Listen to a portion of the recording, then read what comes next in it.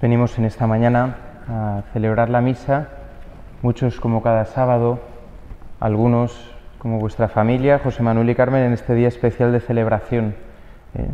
50 ¿eh? años son muchos años. 50 años son muchos años, por eso es importante que vuestra acción de gracias también sea grande. ¿eh? Es verdad que si vivimos bien, todos los días damos gracias. Y no me refiero a si nos van bien las cosas, sino a si nosotros vivimos bien la realidad. ¿eh? Eh, todos los días es importante ¿eh?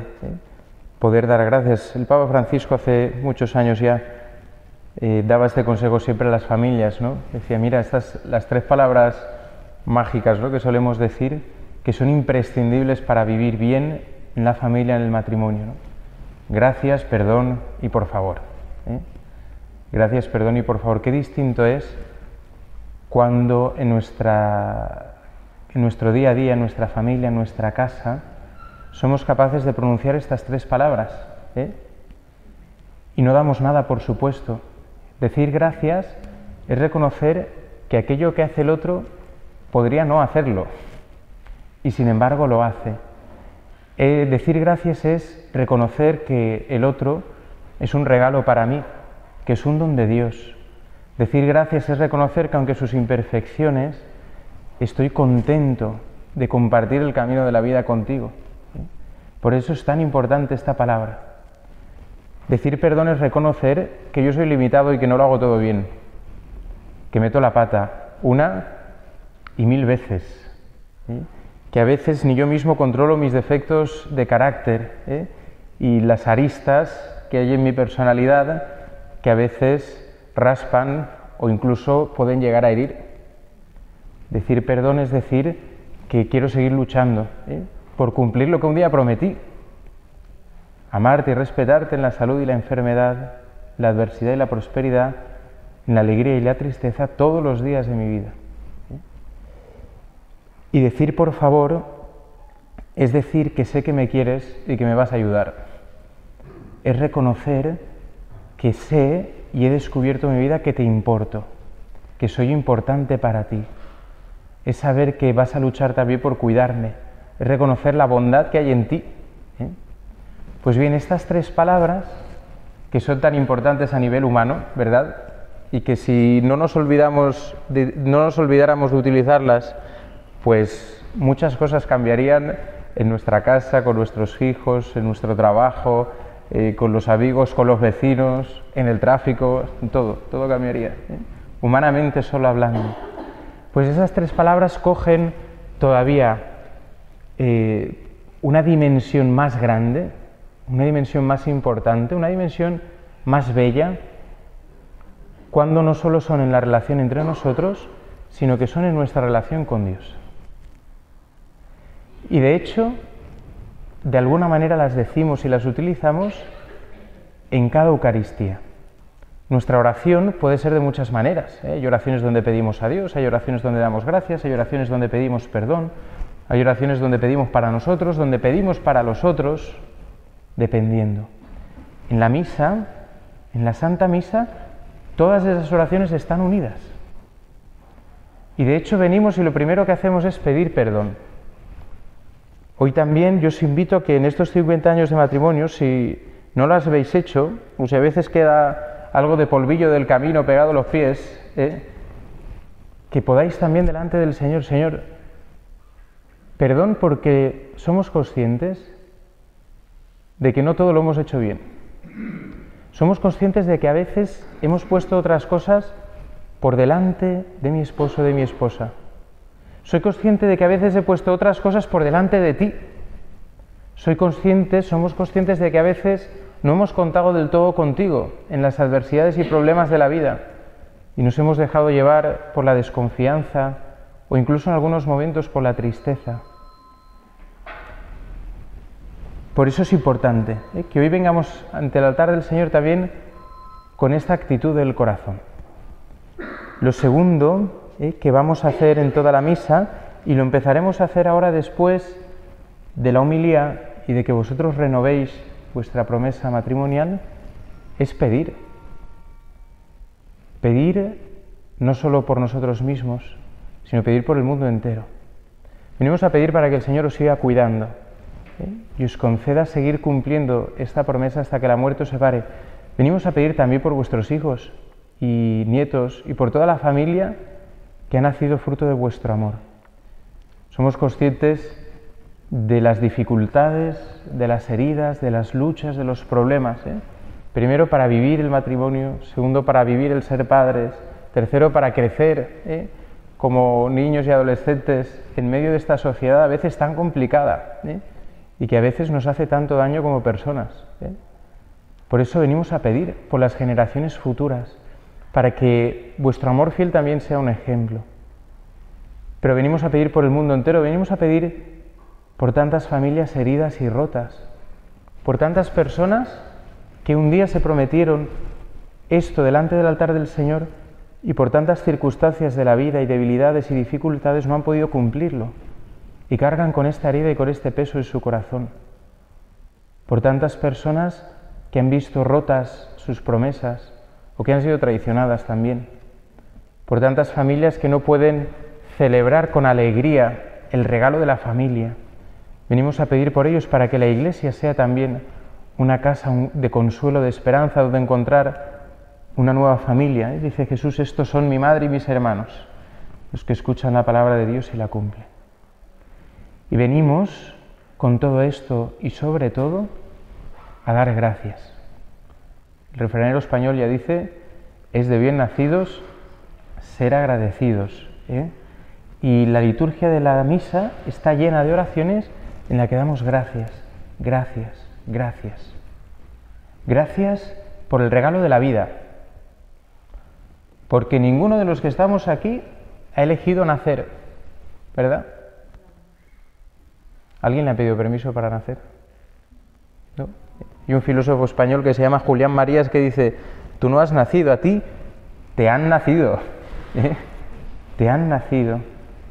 Pero desde la fe descubrimos que esto no es fruto de la casualidad, sino que es un deseo del corazón de Dios el que tú existas, que Dios ha pensado en cada uno de vosotros y ha pensado que este mundo si no estabais le faltaba algo y que si estabais estaba mejor. Y damos gracias porque os ha hecho descubrir cuál era vuestra vocación, que era amar y entregar la vida. Y ha hecho que os pudierais encontrar en vuestra juventud y que pudierais conoceros y que con vuestras limitaciones pudierais amaros y decidir entregaros no solo en el presente, sino entregaros el futuro y poder sellar ese amor delante del altar del Señor. Voy diciendo eso así preparo la humildad después de, la boda. Dar gracias porque vosotros habéis sido fieles, pero sobre todo porque Él ha sido fiel y no os ha faltado su auxilio y su ayuda, y en los momentos de dificultad habéis podido acudir a Él, suplicarle, a veces simplemente en la oración desde vuestro corazón, a veces solo con una palabra eh, o con una mirada, una imagen de Jesús o con una Eucaristía. Porque Él ha sido fiel eh, y os ha acompañado a poder llegar hoy hasta aquí. Dar gracias porque ha hecho que vuestro amor sea fructífero eh, y que hoy vengáis rodeados de vuestra descendencia a poder estar en esta Eucaristía. Y todo esto lo hacemos además en una fiesta preciosa, en un día precioso que es la fiesta de la Virgen del Pilar. Mirad, la Virgen del Pilar es la devoción más antigua que existe a la Virgen María por una razón muy sencilla, porque existe, no recuerdo ahora bien si es desde el año 40 o 42, pero no del 1940, ni del 1840, ni del 1740, sino del 00000040 después de Cristo. ¿eh?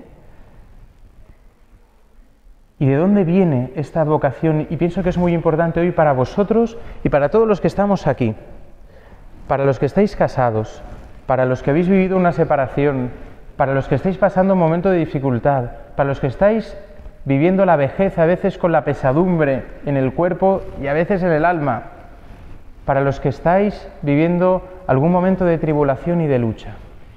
Mirad, la tradición de la Virgen del Pilar nos cuenta pues que después de que Jesús, ¿eh? hemos escuchado que después de la muerte de Jesús y de su resurrección estaban todos reunidos en un mismo lugar y ahí estaban los apóstoles, algunas mujeres y la Virgen María, esperando que Dios enviara el Espíritu Santo.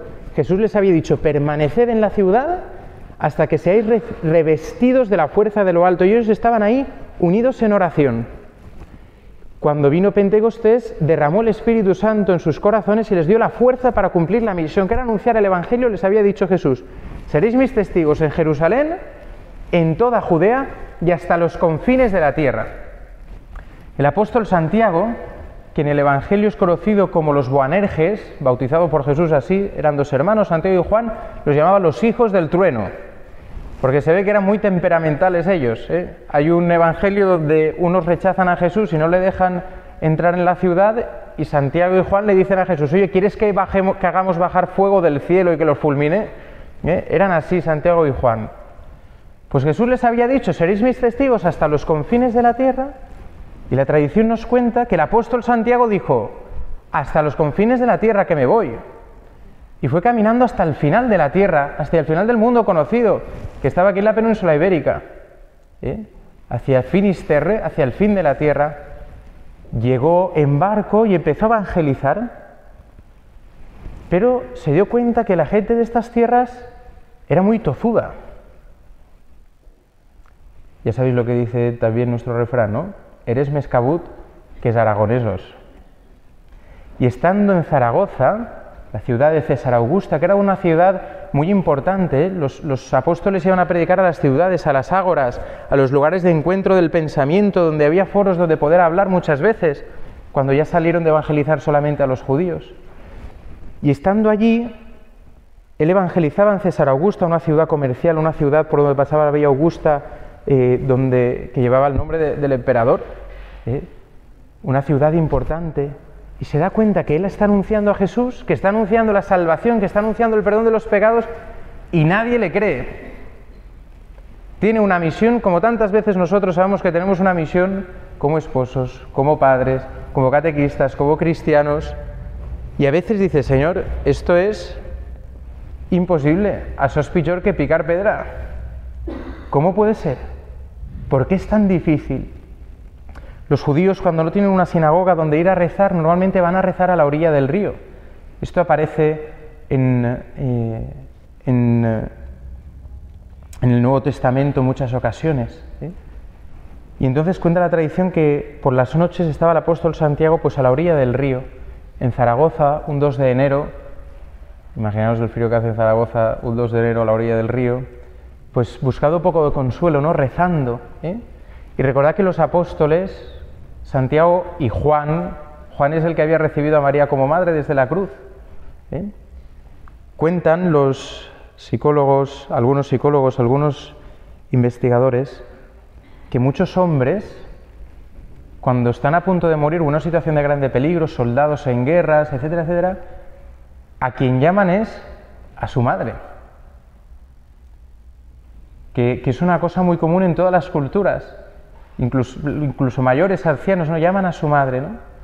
Entonces el apóstol Santiago llamó a su madre, madre, ayúdame, no sé qué hacer, estoy intentando cumplir la misión que tu hijo me ha dado, pero estoy aquí solo y nadie me cree, ¿no? Estaba desesperado, había perdido la esperanza. Como tantos de nosotros y como tantos hombres y mujeres en nuestro mundo que han perdido la esperanza a veces la esperanza de corregir un propio defecto tuyo. A veces la esperanza de encontrar tu lugar en este mundo. A veces la esperanza de recobrar la salud. A veces la esperanza en que este mundo pueda ir un poco a mejor. A veces la esperanza en que esa situación familiar se resuelva o en que pueda reconciliarme con esta otra persona. A veces la esperanza en que los hombres conozcan el amor de Dios. Había perdido la esperanza. Pues bien, la tradición nos cuenta que la Virgen María se presentó allí no decimos que es una aparición, porque la Virgen María todavía vivía en Éfeso, con San Juan, sino que fue una visita y la hizo sobre una columna de casi dos metros de altura, una columna de jaspe, preciosa,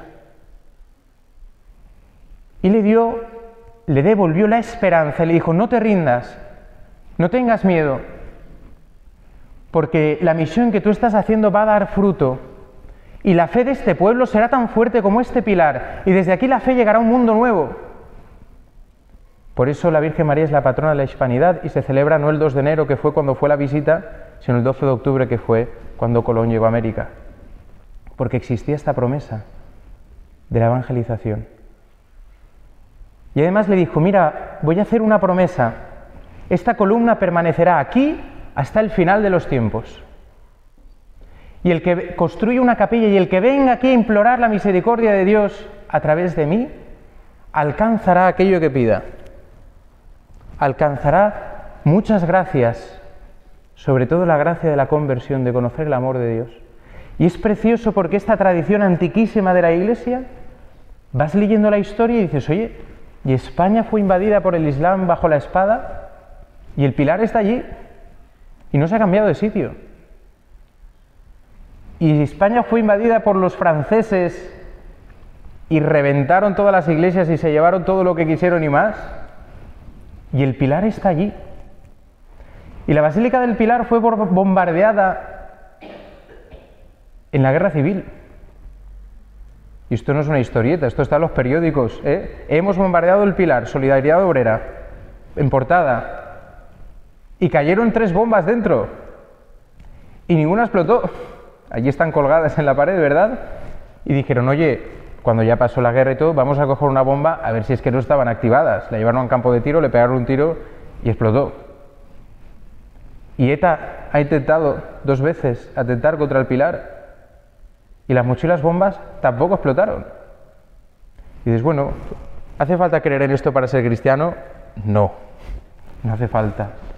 Pero pienso que es un signo que el Señor nos regala de algo muy importante, de que su gracia y su amor no nos van a faltar y de que en medio de las luchas de la vida, en medio de las luchas de la fe, en medio de las dificultades que todos experimentamos y de las tentaciones, tropiezos y caídas que podamos vivir en nuestro camino hacia el cielo, el consuelo y la esperanza que Dios nos trae por María no nos va a faltar, que ella acompaña a la iglesia, que la guía como una estrella y que esta firmeza de la columna nos recuerda la firmeza del compromiso, de la alianza de Dios con cada uno de nosotros. Vosotros habréis experimentado a lo largo de vuestra vida, y termino que me he alargado bastante,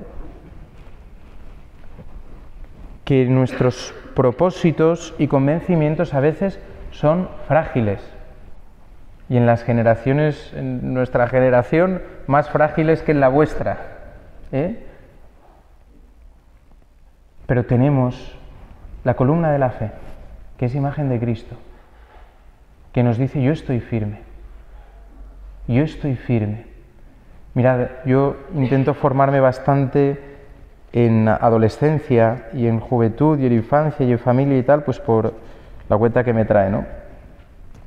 Y una de las cosas claves para la educación de un adolescente, esto lo dejo ahí gratis, como veo dos por ahí detrás,